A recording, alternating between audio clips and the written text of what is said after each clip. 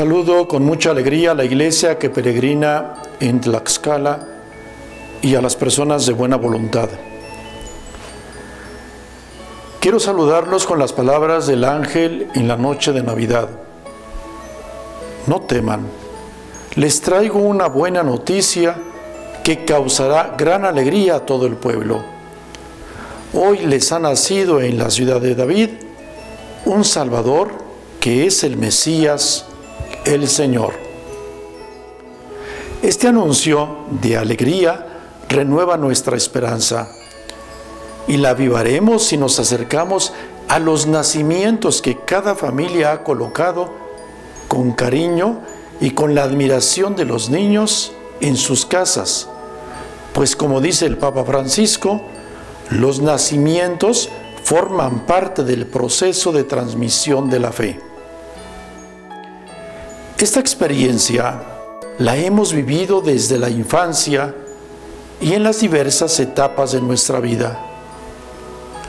En los nacimientos contemplamos a Jesús, experimentamos el amor y la fe en nuestro Padre Dios que está con nosotros.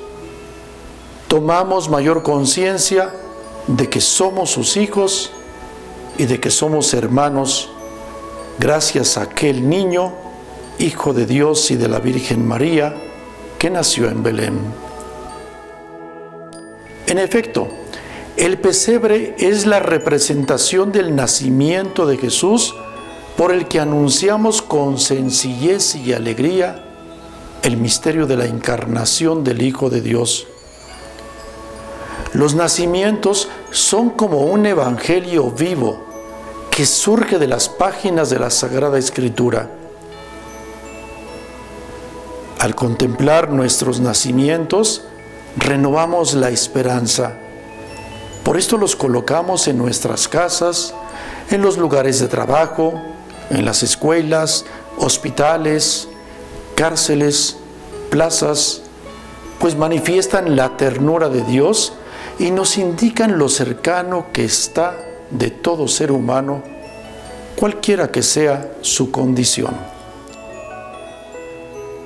Este tiempo de emergencia sanitaria ha sido difícil y adverso, pero también es tiempo providencial y de gracia para renovar nuestra esperanza y proclamar la alegría del Evangelio.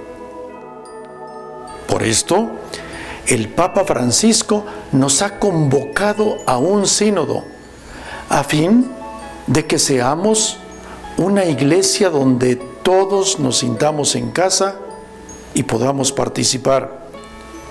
A que seamos una iglesia de la escucha para hacer una pausa en nuestro ir y venir, para frenar nuestras ansias de todo tipo y detenernos a escuchar escuchar al Espíritu en la, oración, escuchar a los hermanos y hermanas acerca de los gozos y esperanzas en nuestras familias y en nuestras comunidades, escuchar las urgencias de renovación en la vida pastoral.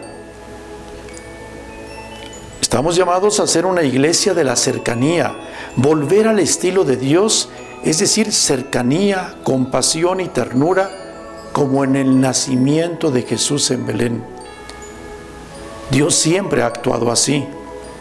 Si nosotros no llegamos a ser esta iglesia de la cercanía con actitudes de compasión y ternura, no seremos la iglesia del Señor.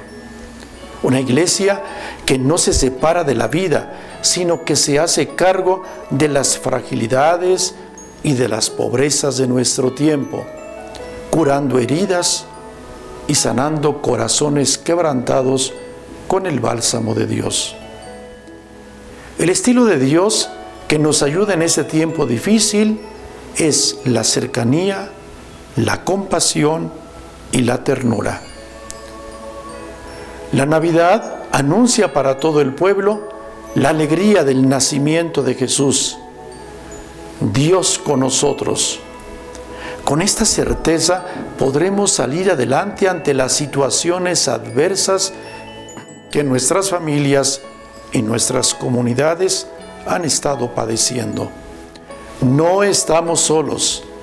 La Navidad genera esperanza, una esperanza que no defrauda.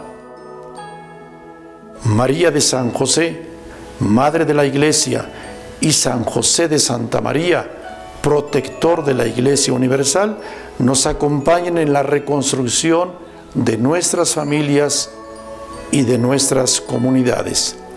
Feliz Navidad, que el año nuevo sea de bendiciones, vida y salud.